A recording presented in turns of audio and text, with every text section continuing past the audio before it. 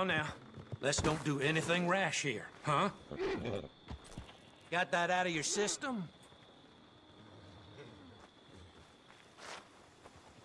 So old Bob Crawford was livid about his coach getting robbed.